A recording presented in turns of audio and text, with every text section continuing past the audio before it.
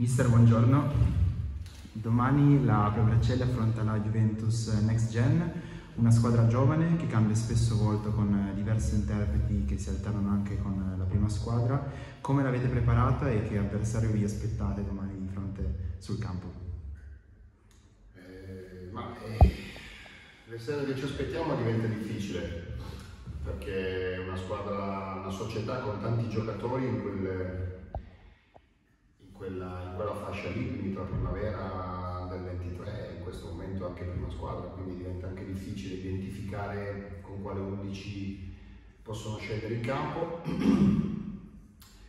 Abbiamo preparato con poco tempo perché eh, giocando domenica abbiamo avuto lunedì e martedì eh, per preparare la gara del mercoledì, come eh, bene, eh, normale che dopo la vittoria ci sia quella parte di entusiasmo che ti aiuta, quella parte di buona consapevolezza, quella parte di, insomma, di, di, felicità di aver raggiunto un, un, risultato importante. Mister, eh, la vittoria eh, quanto è inciso? Perché comunque era una vittoria che si andava cercando, eh, che si erano fatte delle belle prestazioni e non erano arrivati, forse nella giornata dove c'era la prova più brutta, più sporca, come aveva detto lei, no? che ci voleva quella quella pro badasse no, al bel gioco ma badasse al sodo è venuto un successo pesantissimo per la classifica. Ah, intanto bisognerebbe fare una disquisizione universale del mondo su cosa vuol dire giocare bene e giocare male. Certo.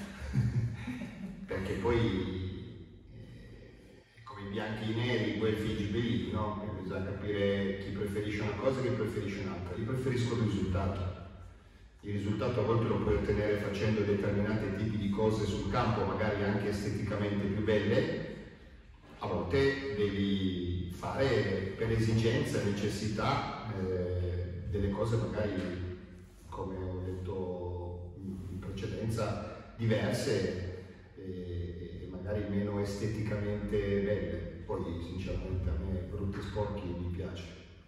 Era la prima di otto finali e insomma il risultato più che positivo, eh, bisogna però continuare sempre col coltello tra i denti. Ma il coltello, tra i denti per la mia mentalità si dovrebbe avere dalla prima partita di campionato, eh, perlomeno mh, l'ho già detto questa cosa, sono partite di calcio, le partite di calcio c'è una componente tecnica, tattica, eh, psicologica, fisica quindi bisogna avere spirito, bisogna avere combattività e poi se si ha delle qualità, come credo la squadra comunque abbia, eh, bisogna metterle nel, nell'interno, nel contesto della partita per provare a, a prevalere sull'avversario. Una partita è fatta di tante cose. La Juve, lo dicevamo prima, è forse la squadra che ha più incognite no, di questo campionato perché non si sa mai con chi gioca e come gioca, eh, però la Provercelli dalla sfida eh, contro l'Albino Leffe si erano visti nel corso dei 90 minuti l'infortunio Calvano e a Clemente, come stanno i due giocatori e chi non avrà a disposizione lei nella gara di domani. Ma I due ragazzi hanno subito due brutte botte, però insomma si sono allenati, hanno fatto le loro cose vedremo,